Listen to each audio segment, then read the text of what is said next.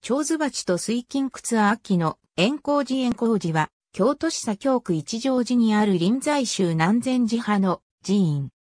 三号は随岩山、会期は徳川家康。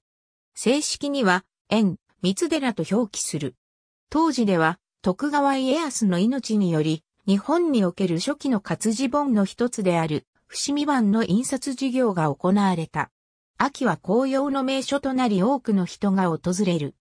徳川家康により、慶長6年に足利学校の第9代の少主であった官室元吉が招かれ、伏見城下に伏見学校円光寺として建立されたのに始まる。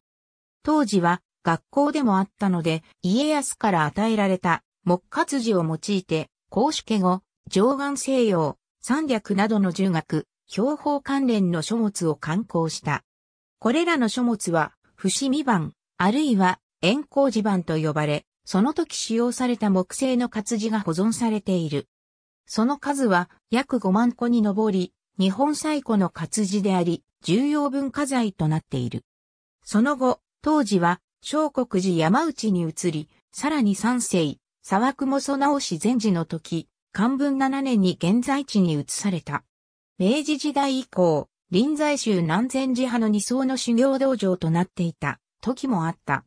配管料は大人500円、中高校生400円、小学生300円。9時から17時まで開門。要予約、有料で、紅葉期のみ7時30分から約1時間の早朝、配管ができる。